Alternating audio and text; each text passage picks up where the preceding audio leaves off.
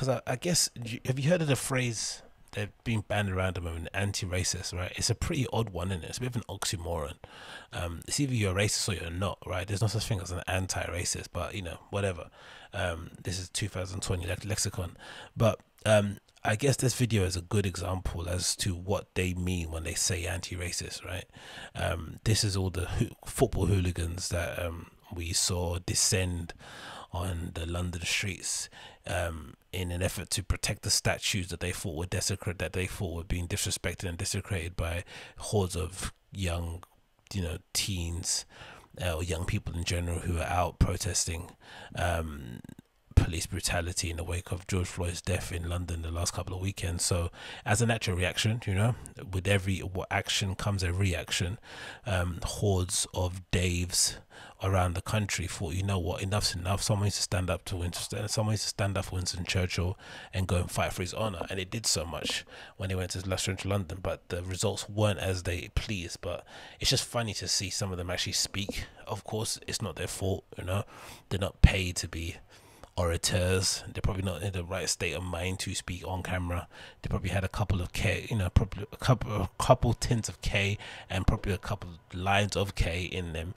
But um, this video from Joe's nonetheless very, very funny and play for you guys now. Get this on widescreen.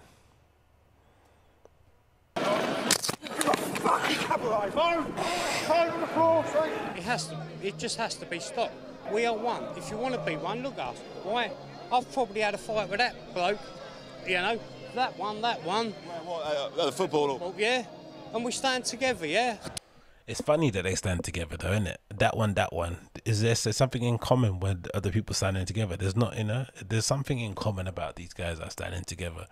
Right? Imagine hordes of football hooligans who have really bitter rivals, right? Violent rivalries, rivalries that result in people losing limbs and eyes and, you know, being, you know, scarred for life and shit.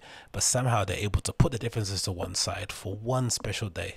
Not Christmas, not Halloween, not fucking, you know, a, a, parade when West Ham win the Champions League. No, none of that stuff. They happen to put all the differences to one side just so they can go and fight some black kids in London. Hmm. What does that tell you about these kind of people, hey? Don't like what's happening, no, mate. There's no need to take the statues down. You know what I mean? It's just like, hey, Capaldi, Capaldi hasn't got a patch on me, mate. Yeah. There's no need to take statues down. Oh, These guys are legend. I'm telling you. Do you think I need a haircut? What? You think I need a haircut? you need your teeth brushing, mate. Thousands of protesters have gathered in central London, Westminster, to protest against the Black Lives Matter movement. They've gathered around the Churchill statue behind me after it was vandalised last weekend. We're here to ask them what they think. We're here purely, no violence, just to no violence, right? And then they've got a video of a journalist or a photographer or somebody within the media who absolutely got his nose smashed the fucking. It looks broken to me because there's blood profusely, dri- you know, dripping from it. And luckily, he still got his SLR in his hand. That's probably the most you know, important thing. I think if you ask this photographer if he could get punched in the face or get his f- camera stolen, I'm pretty sure you say get punched in the face, unless he's got really good insurance. But the juxtaposition of saying there's no violence, right? Whilst they punch the lights out of a photographer who happens to be white, unfortunately, right? So they happen to have like a no media rule, but they also seem to have a no blacks rule. Very, very bizarre. It reminds me of like a, it reminds me of like a motorcycle club, right? No cameras, no blacks. Protest about the way our statues are being desecrated or also defaced and because the police have done nothing They're about it, again. we've come here because they won't look after them, and that's basically it. I love how uh, patriotic these guys are in it, defending inanimate objects. It's just it beggars belief, really. Don't get me wrong. I, I, was never a big fan of desecrating Winston Churchill statue. I think anyone who's been studying of history would know Winston Churchill's legacy is tainted and complicated, like a lot of people from his time. But he'd done a lot more. He's done a lot more good than he has done bad, and the bad that he has done could just be explained away. But you know, according to the times that he lived in, argue if you want, disagree if you want, but it doesn't warrant um, a constant effort to kind of topple his statue and have it, you know, dumped in a Thames somewhere. He's not that bad of a guy. Let's be for real. Do you, do you, But still, going out of your way to go and you know have a couple of bevies in you, do a couple of lines, and drink a Stella or two, put on your best Stone Island and your gazelles to go and beat up kids to, for the statue. That's insane.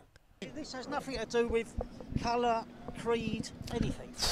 And that's what I said before the other day, right? What what what happens if you're Raheem Sterling and you see this?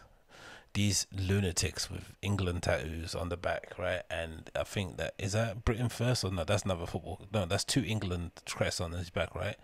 Um, they're a bit naughty. These guys, though, innit? They're a bit naughty, right? Like it's hard to put. How would you put on the free liner shirt knowing that these these these people make up some of your fan base? I guess you can't, you know you can't avoid the ugly truth of the racial tensions that exist in England for the most part. Um, like I mentioned, if you go to football games, you know what the deal is, right? You know what these guys say in the stands. You know what they say to you after you finished, and you're in the bars and pubs, and they feel as if like they can talk to you as a friend, and you won't judge them. You know what they say, and it's never, it's never wholesome. It's purely that. I mean, it's, it's a ridiculous thing. You, you, history is what it is. Um, this has turned into a slavery issue from some bloke dying by a corrupt uh, policeman.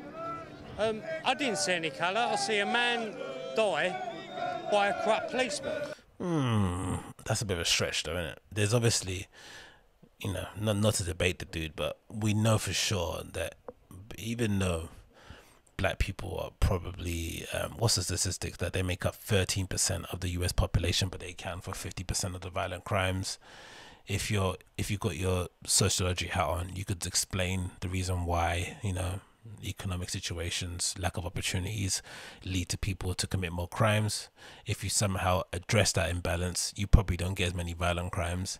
And but then on top of that you also there's no denying that the police do have a tendency to fear black men when it comes to police interactions. It's just the nature of it. You can, you know, there's many anecdotal videos you can find on YouTube of encounters between black and brown people and, you know, Caucasian people. And it doesn't, and some of the times the outcomes are the same, but some, most of the times the outcomes are not the same. Um, so to suggest that they race didn't play some part in it is ridiculous. To to suggest race was the entire reason why George Floyd died is also ridiculous. But you know, it's no to have no empathy or humanity in your heart to understand why some black people in the UK, in France, um, in Holland, in Germany, in New Zealand, in Australia, you for, to understand why some people around the world would feel sympathy towards that and would use that as an opportunity to maybe talk about some of their own injustices happening in their own country is ridiculous as well. That's the ridiculous part of it. You have to understand that. Come on. Yeah. Stop with the colours. Stop it. Because every time you say Black Lives Matter, you are putting a divide in between us all. Not You are really. being racist. It's weird that people say that though, isn't it? So it, it's like saying you can't say like you. It's like saying you can't say um, United, United, United, or you can't you know chant your own team or something because you're then you're then denigrating the value of the other team. It's a bizarre statement. We know all lives matter. That's that's a given. But in some countries and in some places, other lives apart from the indigenous life don't matter as most of the others. It's just is what it is, isn't it? We know this to be a fact. So to go out there and say oh, all lives matter is sort of a redundant statement. It's just like, all right, cool, the sky is blue. We are aware of that. But some people don't believe Black Lives Matter because, if anything, all lives matter is a demonstration that you don't believe Black Lives Matter because you're so quick to do that. all this bickering about colour, race, where you come from, it's, it's, it's just daft, isn't it? Getting out of hand. Could you tell me what, Yeah, he's not nothing wrong with him at all, is it? what uh, Winston Churchill represents to you? What does he mean to you? He, he is father of our country since the war. Without the war, father of our country who was essentially ousted right from politics and essentially died alone in his bed right father father of our country treated like absolute shit after world war Two, but father of our country war, would these people rather have Adolf Hitler's descendants looking after us? This is democracy. And that's what it's supposed to be a democracy. but that's a problem though in a democracy if they would have voted for that statue to come down these same numbnuts would have still been protesting against anyway so that's why sometimes I, I disagree. I think sometimes just tearing it down for the sake of it, even if it's just you know, for the rage tear down, and they put it back up later anyway. At least you made your point. I think you know putting together petitions, you know, going to the local council and arguing your case doesn't really get you far. People don't really do uh, like I've I've noticed it myself in working in companies and corporate places. The moment you start threatening people with violence or with you know public shaming and shit is the moment they start moving and they start making a change. If you start going down the official channels, they don't do anything. No one pulls their finger out their ass. We're here to just like stop this carnage. We're here peacefully, as you can see. You don't need to rob places. You don't need to hurt people. You just need to turn up and be peaceful. Mate, I'm people here are getting today, washed. right, Look at it. to support, support the English army. He is you know what I mean? wa- he is What's waved, happening, right? He is I don't agree with it, mate. Statues, fucking, it's all over, mate. Yeah, the racism's coming back, mate, because of the fucking BH men. You What? can't rewrite or dis- destroy your history. History's there for us to learn from and nurture. We've got what we've got today because of what we've learned from our mistakes and our history. To wipe that out, it, it, it, it's, We I have just, it's nonsensical. I guess so, mate. I guess so. But yeah, funny, innit? We're all got different.